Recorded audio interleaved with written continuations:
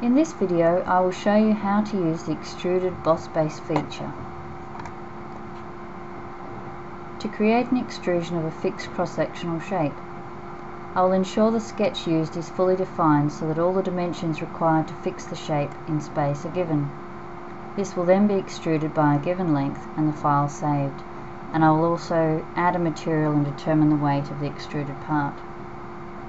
You can see this extrusion does not change shape across its length and the origin is placed in the center of its length which means I need to use a mid-plane extrusion rather than a blind extrusion.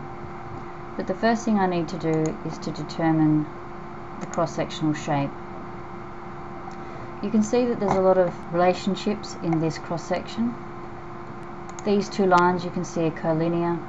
The lengths of these two lines as well as this line are the same and this line here and this arc here is tangential to this line. These two lines are the same length and there's lots of horizontal and vertical lines as well. So let's create a new part. Now I'm going to place the sketch of the cross section on the right plane and I'll begin by using the center at the top left corner of the cross section and I'm just going to use freeform lines to sketch out the basis of the cross section. You'll see a number of dashed lines appearing as I move around the sketch and that's just snap lines telling me where the mid midpoints of lines are and where a line would be if it was to be horizontal.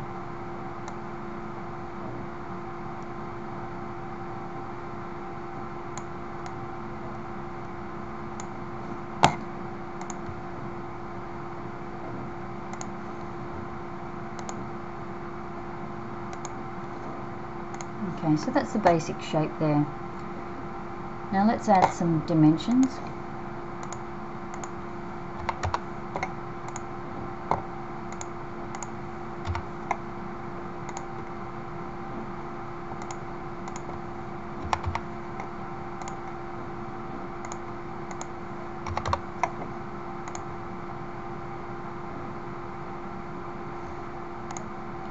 And now we need to add some relations. So if I zoom in, I need to make sure this line here has a collinear relationship with that line.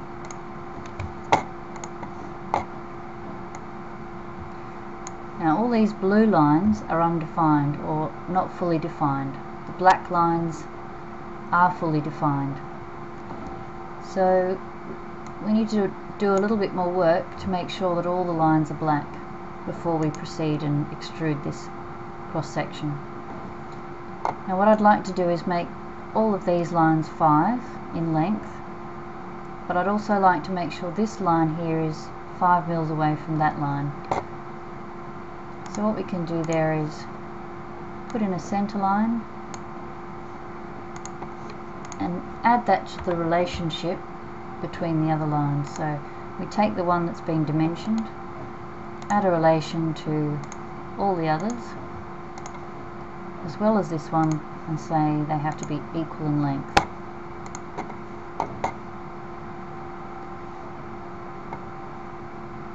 We can also say that this point here has to be vertical to that point there.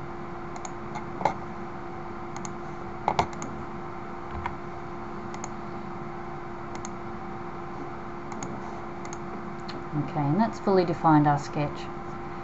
So now we can create the extrusion by using the extruded boss base feature.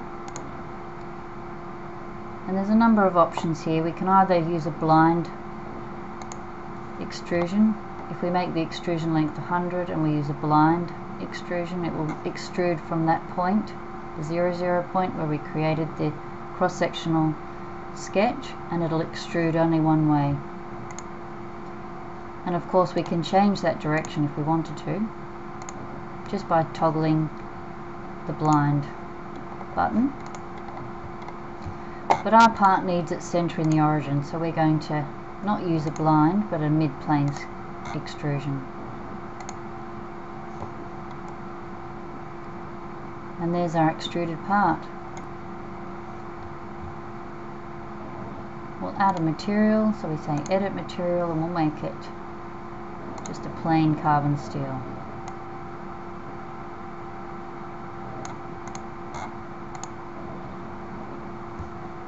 We'll save that again.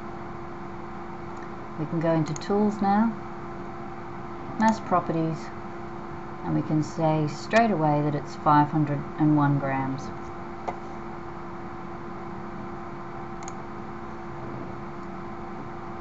And that's a quick explanation of the extruded boss base feature.